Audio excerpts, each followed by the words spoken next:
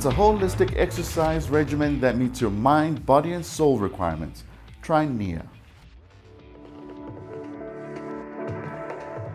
It's a movement art. It was born from the aerobics industry of the 80s to find a movement that was better for the body so that no, so many injuries wouldn't happen, but also to bring in not just the physical, but the mind, mind body, as well as emotions and spirit.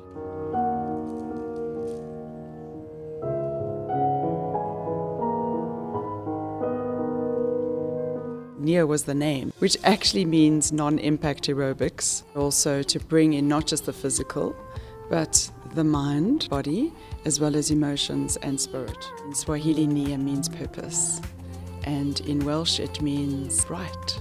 Nia is geared for absolutely everybody. I started teaching Nia to uh, schools and also in my daughter's age groups as she grew from age three, four upwards. She's now nine and I've been teaching up to grade fives as well. But mostly NIA is uh, sought after by adults. If you haven't exercised for years, NIA will meet your body because we, we have techniques that bring in the healing arts.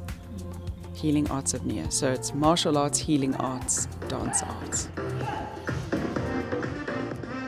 The benefits are so many, and different people come for different things. So people might come on, on that basis thinking, I love music, I love dancing, I want to lose weight, and you will get all those things. But that's very much of a physical level. But you, you will get your fittest body because we are working with the acronym FAMS, F A M S. Flexibility, agility, mobility, strength, and stability. You're going to get those five things. But the most biggest thing that you get is health and wellness.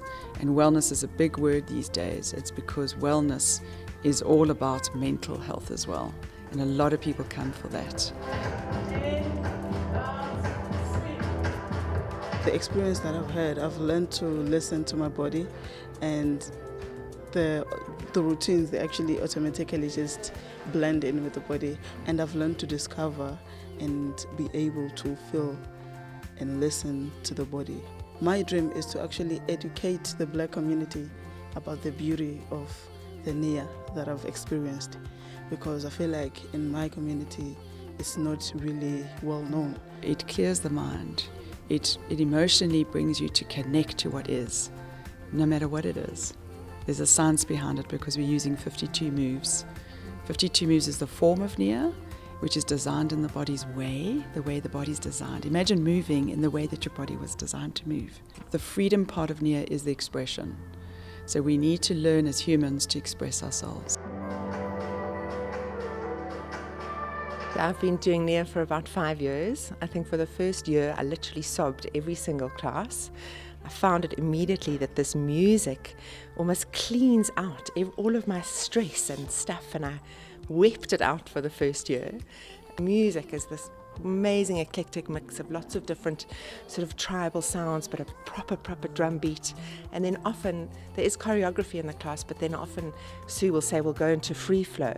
And your body just automatically knows what to move. So, you know, if you've had a sore shoulder or something stuck, and I just, I, I just go mad. So the first training is white belt. So white belt is a is a training that's also going to be called a health and wellness retreat from 2023. Um, then the next stage is, is the blue belt, and 13 months later, there's a brown belt, which we got happening in our studio next month, November 2022. And a brown belt is all about the art of perception. Black belt is the, is the belt that you learn when you feel you want to get the mastery of the NIA tools, you're ready for it. So then you'll have 13 principles for each belt. When you've got black belt, which is the art of transformation and creativity, you feel a sense of mastery within you and you have 52 principles in your body. Obviously, the higher the belt, the more um, skill there is to, to assist people that, that uh, maybe feel very out to sea with their bodies. So it doesn't matter where you are. NIA will meet you.